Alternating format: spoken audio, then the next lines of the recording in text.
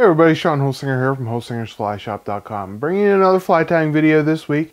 This week it's a stonefly. You guys know me if you followed my channel for years. I love stonefly patterns and uh, I wanted one to do a little bit better job of matching the ones in my stream.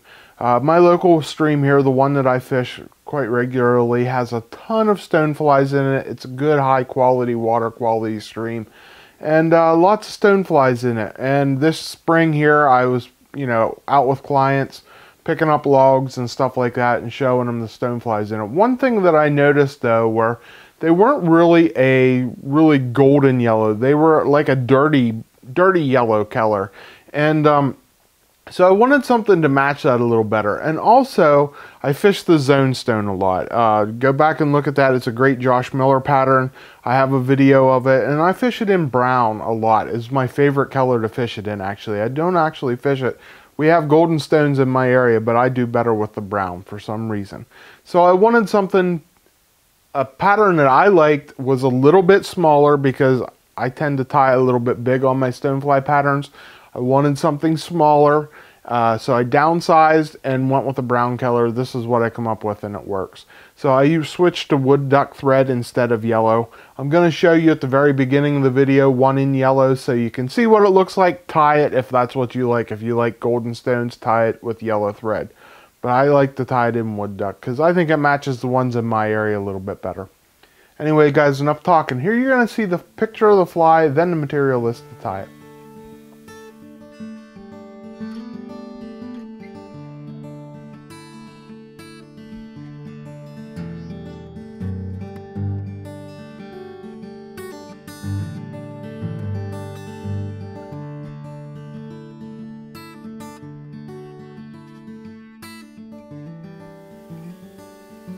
Okay, here we see a golden variation of this uh, Maniac Stone. This is tied with yellow thread.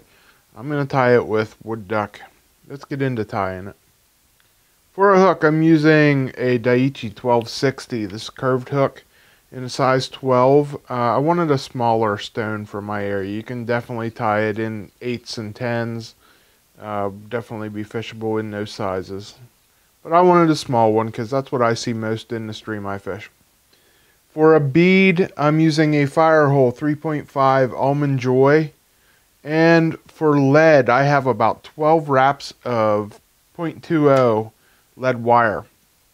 And then for thread, I'm using some 140 denier wood duck. Use 170 if you have. I mean, sorry, 70 if you have. And then I'm just going to wrap back here to the bend of the hook, and I'm going to make a nice little ball back there that's going to splay my biots out.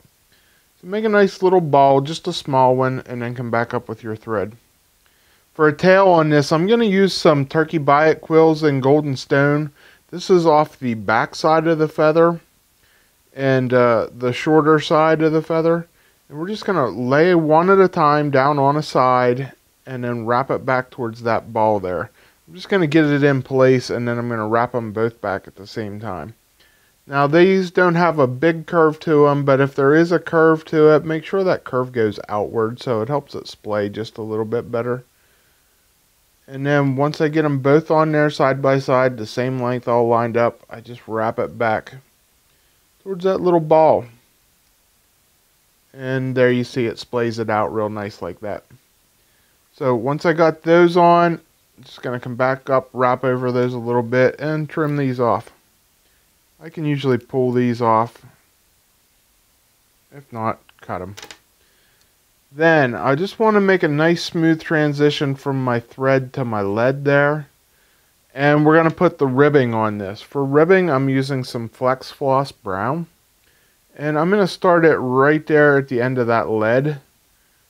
And again, just to help with the transition. And I'm going to pull on it pretty tight and wrap it back towards those biots. And then smooth it all out as I wrap forward and just create a nice taper here. And we're going to just make a nice body on this here. Try to get it nice and smooth, not lumpy, and not too big. There we go, I like that. So we're going to bring my thread back up to the front. And again, I'm going to pull tight on this flex floss, wrap it forward, and create a rib. I get about five or six wraps on there and then I'm going to tie it off.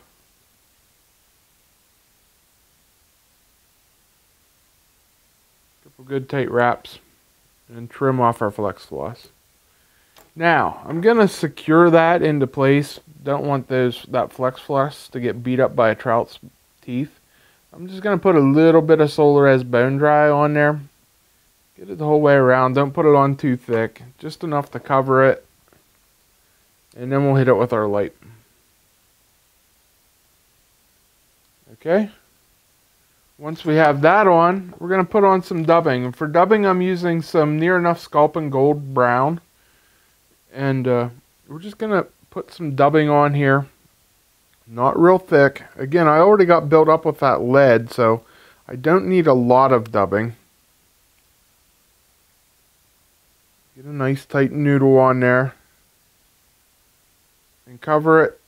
I want about a third of the way back from the bead there. So proportions is the main thing. You know, try to keep everything in proportion. Don't get your abdomen thicker than or bigger than your thorax and vice versa. Just make it nice and even. Try to keep everything in proportion.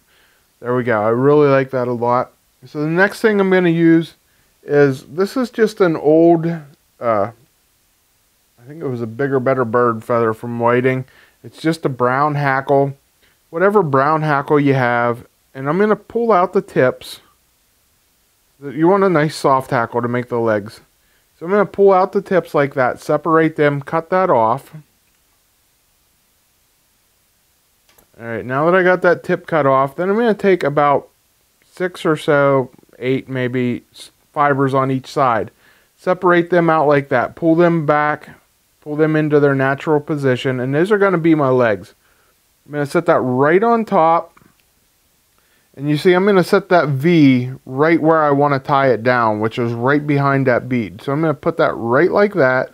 I got those legs. That's the right length of legs I want. I want them just to go right behind the dubbing like you can see there. Just going to hold it down, pinch it on both sides. Hold it in place and make three or four nice wraps there. Alright, I like that. And trim that off. Oops. Okay, I like how that went there. They all stayed over the sides like I want. I can tweak them just a little bit. If you need to, put a touch more dubbing on there. Not much. But I'm going to put just a touch.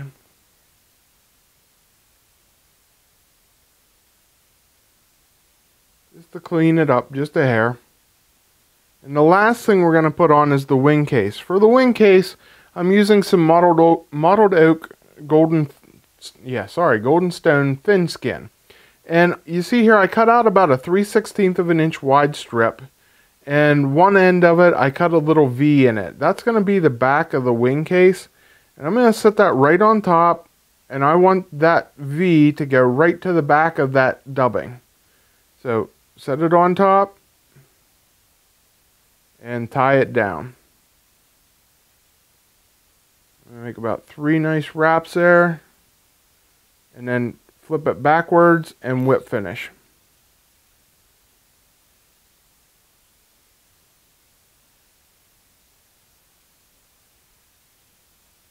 Get one or two nice small whip finishes on there. And then trim our thread, trim our thin skin, make sure I got my legs where I want them. There you see hanging out the side right like that, which is nice. And then I'm going to come in with some medium viscosity and go right up over the top of this bead and thin skin, create just a little hump and secure all that down there, just like that. And that's all that's to this fly. Nice little pattern here. Nice stonefly pattern. Gonna catch you some fish. Alright guys, hope you like that pattern. Really cool pattern. I didn't really show you. I went back to my turkey biot quills to use for the tail in this and I'm using not this side of the feather but I'm using the biots on the other side of the feather. Use whatever you have. If you have goose biots, they work just great. But I wanted the golden stone. I had this color laying, you know, hanging on the wall over here, so I just used that instead of turkey. I used turkey biot quills instead of goose biots. No big deal, does the same job, just that was the color I chose to use. Have fun tying, guys. Experiment, try different colors.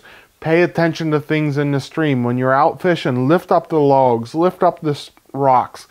Catch those golden stones, see what color they really are. You might be surprised. They're not all the same color. They molt their skin. They turn white sometimes. I've found white ones under rocks. Um, very, very interesting species. That's why, that, why they're one of my favorite species to tie. So have fun tying, experiment, downsize on them, upsize on them. You know, have them in a variety of sizes to match the situation you're fishing.